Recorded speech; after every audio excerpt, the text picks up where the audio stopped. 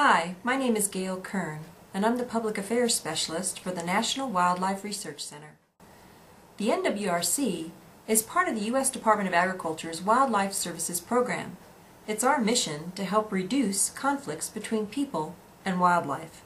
My job here at the center is to help share information about the unique, challenging, and very valuable things our scientists do every day to help solve wildlife damage problems.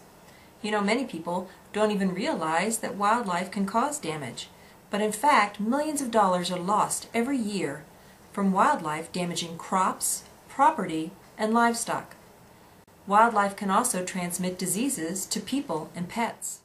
And in fact, wildlife can damage native ecos, which are home to many other wildlife species. Here at the National Wildlife Research Center, our scientists design new tools and techniques that can be used to help reduce these conflicts.